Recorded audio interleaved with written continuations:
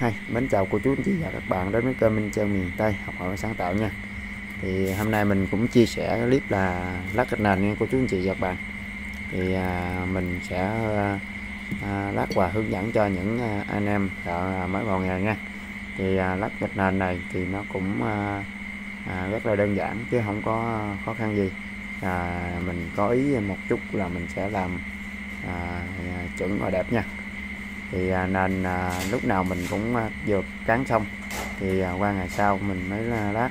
Thì nền qua ngày sau nó đã nó rút nước thì mình nên tưới nước lấy đạm trước rồi tìm lót nha.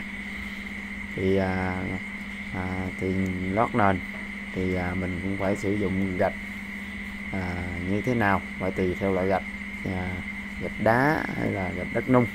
Đó. gạch bột đá hay là bột đất nung á thì à, chản men. Thì gạch đá thì nó không có độ hút nước như là gạch đất nung. Thì đây mình sử dụng là gạch 50 x 50 à, đất nung chản men.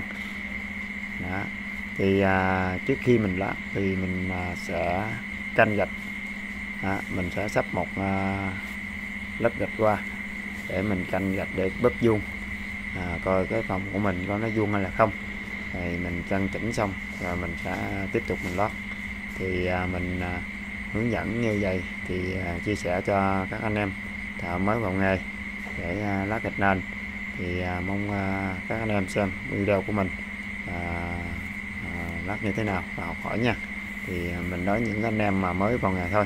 Còn những anh em mà lát gạch chuyên nghiệp rồi thì xem video của mình ủng hộ và có những cái gì góp ý bình luận bên dưới cho mình biết để học hỏi thêm kinh nghiệm nha rồi thì thôi, bây giờ mình sẽ mời cô chú anh chị các bạn xem mình đắt như thế nào nha.